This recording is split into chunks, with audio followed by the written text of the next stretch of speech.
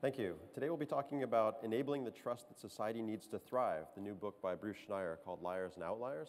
And I'd like to invite Bruce up to the stage now as well. Bruce?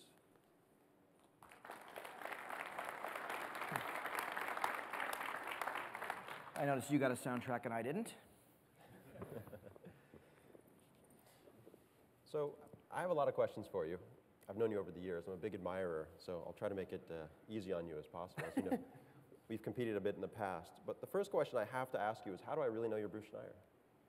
Well, I mean, it's actually an interesting question. And, and, and the answer is you don't. But the also answer is you don't actually care. I mean, people know me because they've known me for, for many years, and you know, my picture's on my book and on my blog, and you know, I, have shown up under that name at this event since the event started. Uh, I suppose the show asks for photo IDs, but that's a relatively new development. And actually, I showed them a uh, uh, not a government issued one, something I made myself today, yesterday when I when I got my badge, and they didn't seem to care. So the answer is you don't, but it doesn't matter. I mean, all you really want to know is, am I the same guy who claimed he was Bruce Schneier last year? Right? And that you have on, on reasonable grounds. Maybe you mean you've known me. So it's less my identity that matters here, and more that there's some consistent presence. I mean, just like a bank doesn't really care who I am, they care, am I the same guy that deposited the money last week? Right? Real identity only matters when you have to deal with the government and taxation. So you don't, but that's okay. So the book really is a transition from where you've been in the past. You've talked about, like in applied cryptography, you've talked about mathematical problems, you've talked about deep problems with the way that we make decisions, the dilemmas we've had that are mathematical. Would you say this is a departure for you in this book? Yeah, it's less a departure and more a, an, a generalization. And if you think about my career, it's been really an endless series of generalizations, right? From cryptography, computer security, network security, more general security technology. You know, starting about 10 years ago, I looked at the economics of security, and maybe four or five years ago, the psychology of security. And now I am here in the sociology and neuroscience and anthropology and political science and everything else of security. And, and it, it's all a continuing quest to understand how security works, what it's doing, how we relate to it. I mean, really, unlike a lot of technologies, security requires people. You know, if we were to do rendering technology or, or word processing technology, the user interface is a separate piece. Right? Then the technology is about how that works. But in security, people are a fundamental part of it. And if you don't understand the people, you're going to get the security wrong. So, you know, as much as I started in, in cryptography because I didn't like people and wanted to look at numbers, here I am studying people because they're who's interesting. Numbers are kind of boring. They, they just do what they're supposed to do. Right? People behave really interestingly. And, and as a security guy, you need to get that. Okay, so here's a follow up question Which is actually harder, cracking blowfish or trusting someone who serves it to you? well, they're, right, they're both hard, but they're different. Right? You know, cracking blowfish, right? Cryptanalysis is a very specific skill. And some of us, very few of us, have that skill, and you know, we will rely on them. I mean, they'll write the academic papers, we'll read them, and we'll nod our heads, and, and maybe we'll understand them. You know, who serves you food is something we all have to trust every day. I mean, this morning, every one of us trusted some food service purveyor, actually probably thousands. You know, the restaurant uh, or the place they, they the supermarket they bought the food, the refrigeration units, I mean, the, uh, the, the health codes in, in wherever city they were in. I mean, there's an enormous amount of trust. And really, from a societal perspective, that's a lot harder. I mean, it really is kind of amazing that it works. Yet it does every day for millions and millions of people without them even thinking about it. That's, that's a remarkable achievement of our species, and we should be kind of proud of it. So here's where I'm tempted to disagree. So it's called trust, and the book focuses on the dilemma of how we can be better at trusting people, systems, how corporations can even be better at trusting and making decisions. But what if it's not trust? What if it's just utility? And you mentioned economics. What if we're just doing it because we think there's an outcome that we're measuring that's going to be profitable or something that's going to be good for us? Or we have to do it because there'll be penalties as opposed to really trusting anything? Well, it kind of is. And, and, and trust is a tough word, it's a very overloaded word. I mean, there's an, there's an intimate trust. I mean, we know each other personally, and there's a certain amount of trust. I might have more trust with my spouse, who I know more intimately. Uh, in a lot of these relationships, you know, with the restaurant you went to this morning, you don't know them. So it's less about intimate trust, right? Trust in the person, and more trust in the actions. So I don't know them, I don't trust them, but I do trust that they will behave in a certain manner. So I will trust people, I will trust organizations, I'll trust systems. Right? I got cash out of an ATM machine this morning. You know, without even thinking about it, I trusted an international banking system that it would magically work. Or I'll use an ATM machine in some foreign country. And again, I will trust that it'll all work. I don't know them. And yes, in a lot of ways, and this is really talk about in the book, that it is in all of our best interests to be trustworthy, whether we are people, whether we are institutions, uh, governments, that we, that we do better. Now, the reason why that's true is, is sort of unclear, because there are some of us who are not trustworthy, who are, who are doing better because they're not. So the basic idea, which, which sort of the, the book hinges on, is that in any cooperative system, being uncooperative is a viable alternative strategy. So in any system of mutual cooperation, of, of trust, you know, let's say of the banking system, or it's something even more obvious, of, of property rights. You know, uh, in any group that decides that we, you know, we're not going to steal, stealing is a viable alternative strategy as long as you're not too successful at it. Right? Parasites can survive unless they kill their host. So you can have untrustworthy people. Now, for the majority of us, we are trustworthy because it's beneficial to us. You know, we're not doing it because we're altruistic, although maybe we are. But there's some benefit. There are psychological benefits, right? Being trustworthy makes us feel good. Being trustworthy gives us more friends. Being trustworthy keeps us out of jail. I mean, all those things work together. And so, so, I, so I look at security as the collection of mechanisms that induce trustworthy behavior, thereby inducing this sort of communal trust that makes society work. So let's talk about malware, right? The example of malware is interesting to me because they say now 12% success rate is what we should get out of anti-malware software. So why should we trust anti-malware software? And is malware getting to the point, as a parasite in your example, to where it's actually killing the hosts? We can no longer tolerate it. Well, but we clearly can. I mean, every one of us has used our computer today, so it's not that bad yet. You know, spam is another example, mm-hmm. where there's such an enormous amount of spam. And we do run these risks in systems. Uh, when technology changes, balances between the cooperative strategy and the parasitical strategy, they go out of whack. And you see that in malware, in spam, in identity theft. And yes, you know, we worried, you know, some years ago that identity theft would kill internet commerce. Mm-hmm. Right? There'd be so much of it, people would say, I don't shop on the internet, it's too dangerous. I don't check my email, it's all spam. Right? I don't use my computer, it's all malware. So we're not there yet in either of those three areas. But yes, there, there is the potential for the parasitical counter strategy to kill the host and, and destroy the system. Right? It's our job as security professionals to make sure that doesn't happen. But you know, there's no guarantee we're going to win. I think on the opposite end, you've also talked in the book about how regulation can kill things, can kill the hosts. If there's too much of it or it's too strict, is it also the security community's job to make sure regulation is good and effective? You know, you know, probably less. That's more of a, of a policy job. And, and, and the argument's subtle here. Uh, I'm looking at security as a mechanism by which society enforces societal norms. So the norm of we don't steal, the norm of all of our email is actually real correspondence and not junk mail. And the people who don't conform to that norm are uh, my defectors, my parasites, or whatever, whatever metaphor you want to use. And the, so the more security dampens that scope of defection, is the term I'll use.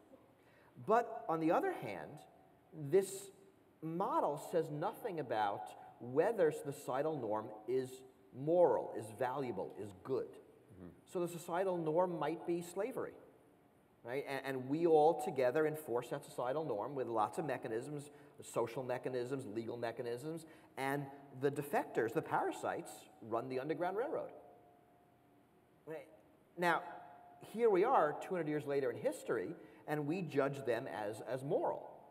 So if there is too much security, you get a totalitarian state, you get absolute conformity, you, you lose all of your ability for social change.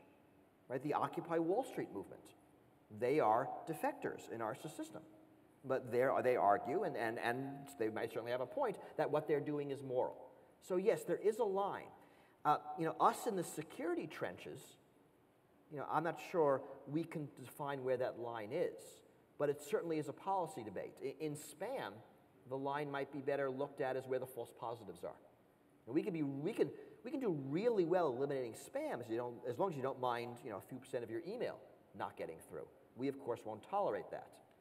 So in, in the false positives versus real attacks, we see that dynamic, but largely the dynamic is sort of outside of security.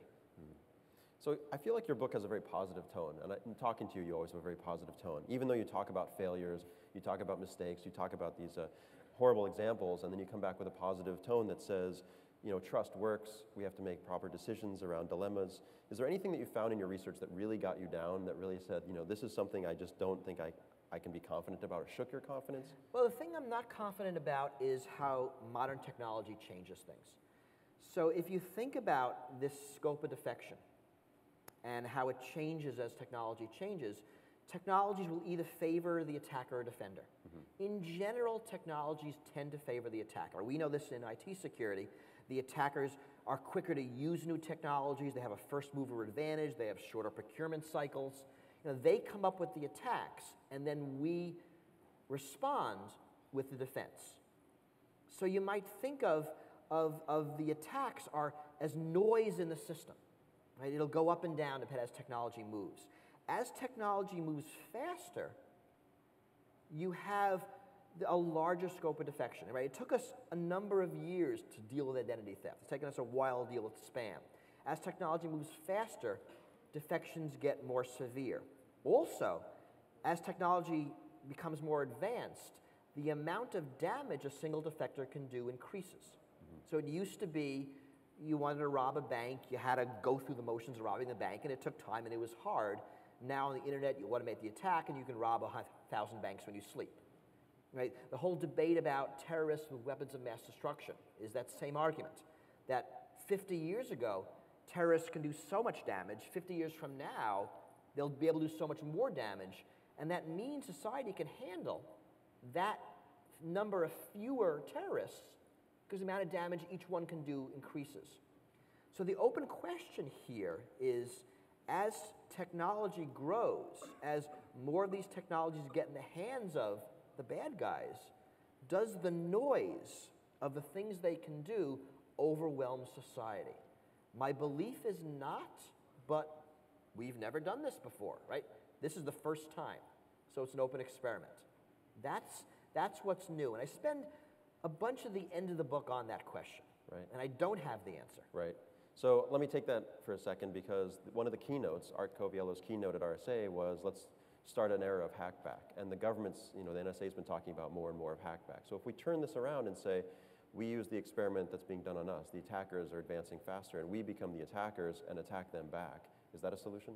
You know, vigilante justice tends to scare me because I worry about the mob mentalities. I mean, it's really fun to think about hacking the attacker back, right? I mean, that's, that, that's a great deal. But how do you know you got the right person? Uh, you know, what do you do when they sue you? I mean, it, it's the same dynamic of, you know, when someone is attacking me, how much can I fight back? And society's been debating that, you know, since the beginning. You know, when am I, in, in the United States, allowed to shoot an intruder coming into my house. It depends on the state, it depends on a lot of different rules. And you know, we can argue whether we're getting it right or getting it wrong, but it's not easy. And, and that same sort of discussion has to happen with any kind of counterattack. Right? Militaries do it because they follow different rules. Uh, police do it to some degree because they are given certain rules and expected to follow them. If we want normal citizens to be able to attack back, we have to really think about how that's going to work. Uh, my suspicion is uh, the typical corporate lawyer will say, don't you dare, just like uh, uh, you know, rented security guards in, in retail stores are often told never tackle an assailant, never tackle someone who robbed the store, never grab them because the legal liability is much greater than the stuff they're stealing. Get their picture on a camera, hand it to the police, and then stay out of the way. Right? And, and that's more likely what you're going to see, you know, not because of security reasons, but because of these larger social and legal reasons. I feel like I've seen a lot of that on YouTube, though. so- well, that, that, right, that's where they are. a lot of examples of people tackling and, And, and, and of course, it's always fun to see the, uh, the camera pictures of the guy who stole your computer, right? I mean, those, those are always entertaining. That's right. So the internet really continues to expand and to include more and more people. And then we have this phenomenon of anonymous. Does anonymous really help? I mean, what's the percentage of trolls and anonymous attacker and anonymous uh, presence that we can tolerate? You know, it's interesting. I think an anonymous is, is really a, a weird amalgam of, of, a, of a group. I'm not even sure if it's a group. I mean, I mean, anybody can be anonymous. You can be anonymous. Just you know, attack somebody, claim you're anonymous, and you did it. It's like being Al Qaeda. It's easy. There's no membership dues. So, anonymous is sort of less a, a group of people and more a movement.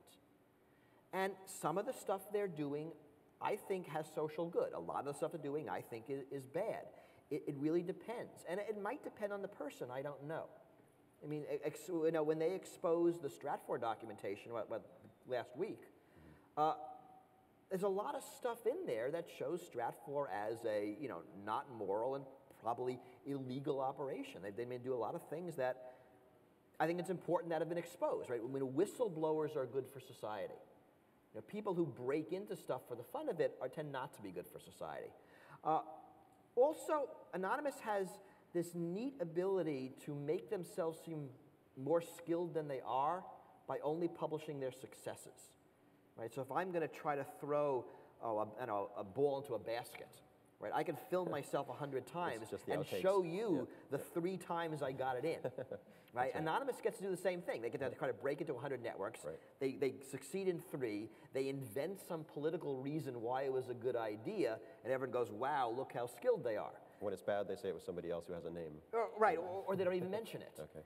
But, but I, I know we shouldn't think of Anonymous as a group. I mean, just like it was a mistake to think of Al Qaeda as a group. It, it's, it's more of, of a name anybody can pin upon themselves if they do a thing that they believe falls into the general aims of the movement. Okay, I'd like to take a question from the audience if anybody has one. Does anybody like to ask a question? He's asking good questions, so you don't have to. Yes, over here on the right.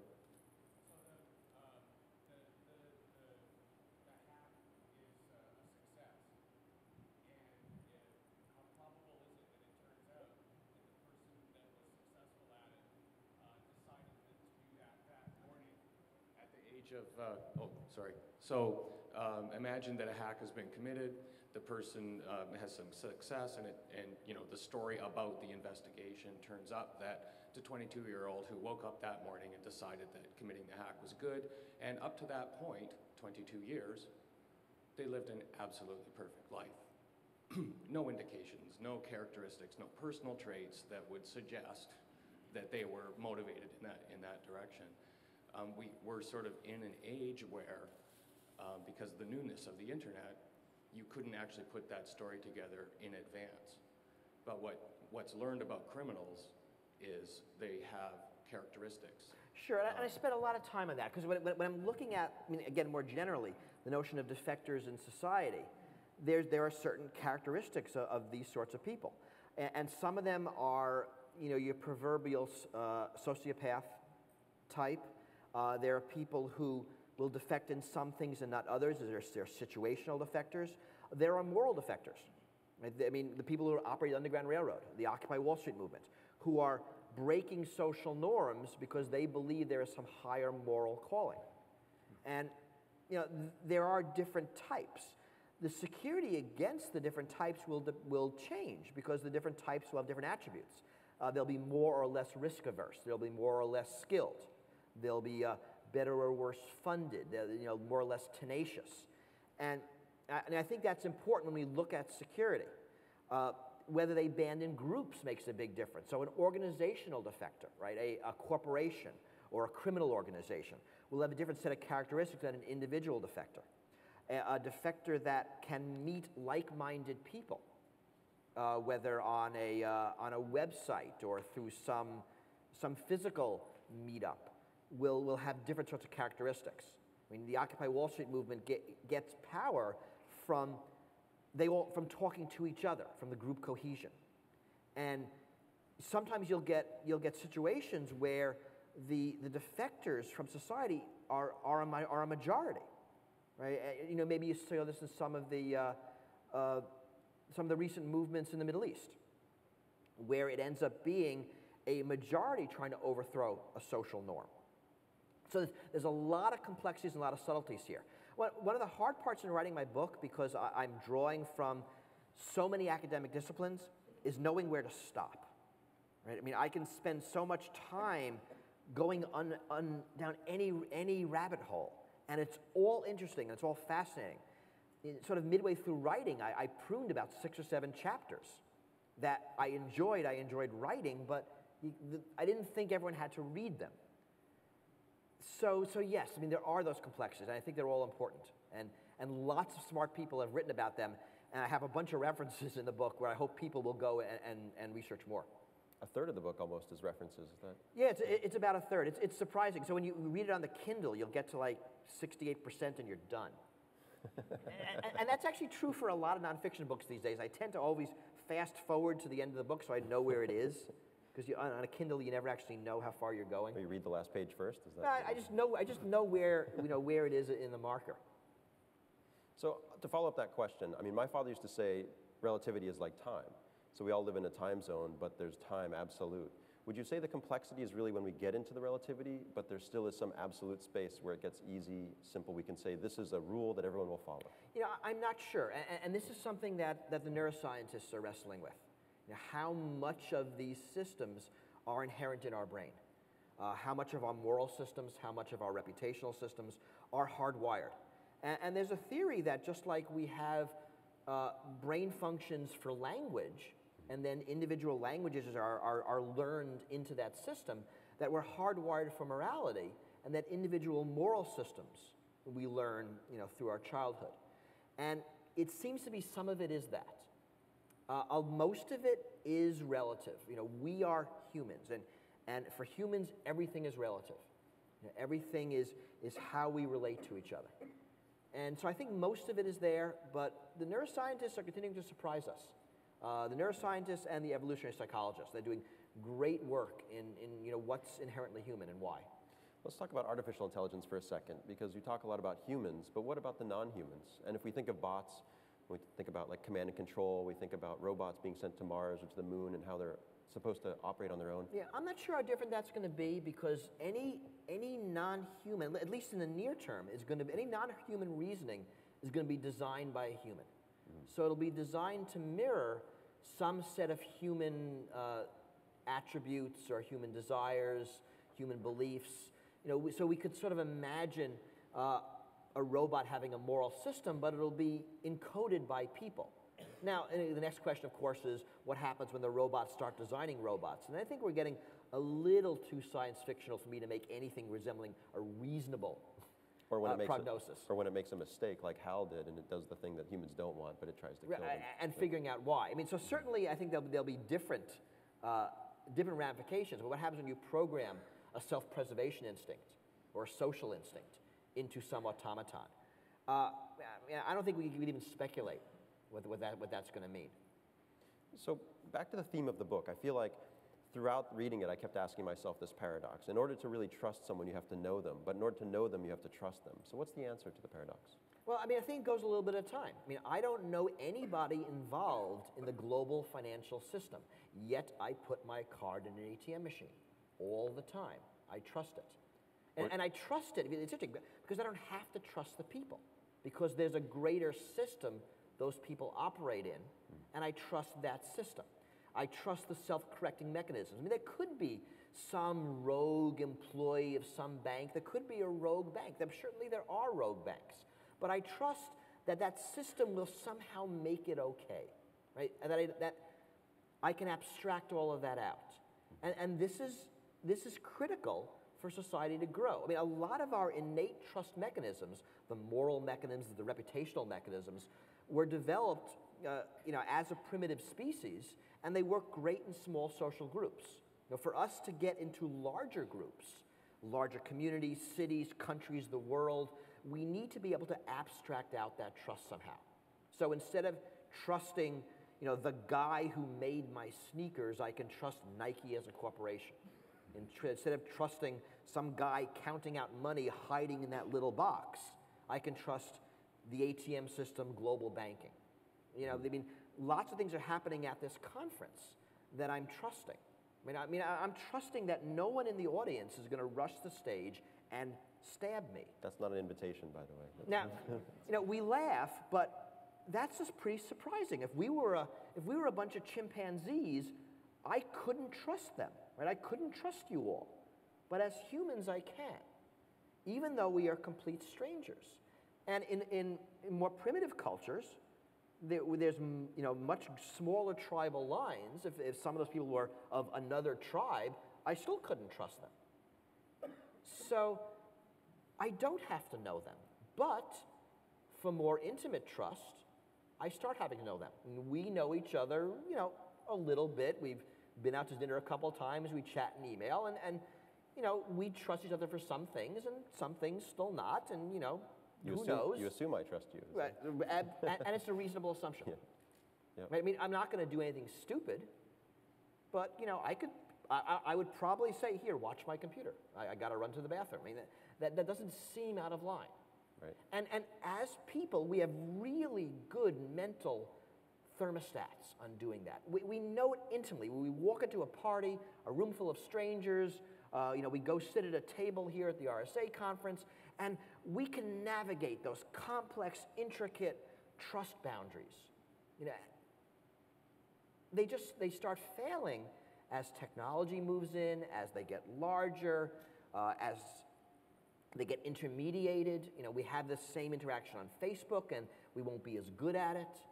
Okay, let know, me, that's what changes. so let me defend the technology a bit because I read a study recently that compared Facebook to tribal studies, and they said the anthropologists are finding that nothing's changed. We still behave the same way we yes, used to behave. isn't that fantastic? I, I love that. But I think I have a $50 limit of liability that technology allows me to have. How do the tribes have liability limits like this? How, can't they use technology to stop attackers, to build up uh, Of course, and, and, and I, I don't want to diss technology. Technology makes this all happen. I mean, you know, the, the internet, you know, Facebook, whatever it is, has enabled, you know, huge, just just amalgamations of, of societies of, of choice, of interest, that just weren't possible. I mean, I mean something like the, uh, let's say the credit, the credit rating system. It used to be you'd go to a bank where they knew you, and they would issue you a loan based on your reputation, you know, whether they thought you could pay it back. That's a reputational based security system. Now we have this credit rating system. You can, you can walk into a bank anywhere in the country. You probably do it by, you know, on the internet. And, and they will make a reputational assessment mm-hmm. based on that database and issue you a loan. I mean, that, that has enormous value for society, for the movement of capital, for the funding of things, and that's enabled by a technological system. Now, we all, have, we all know examples where it fails, where someone has a bad credit rating they don't deserve, or a good credit rating they don't deserve, but largely it works. You know, as security guys, we're always looking around the edges at the failures, but you can't lose sight of the fact that these technological systems really work wonders. allows us to have an offset, a capital offset, allows us to store up a lot more than we would have. Uh, uh, right, allows us to, uh, to you know, to, to, to have i- go into restaurants anywhere in the world. I can make reservations on airplanes and go to strange countries, and I mm-hmm. go on to, to Yelp and pick a hotel. I mean, I mean all of these things. I mean, are, are, are technologically enabled. They wouldn't work without technology, and, and they really are empowering and freeing, and, and they're making our society, I think, better than it's ever been. I mean, technology, I think, allows us to get more moral.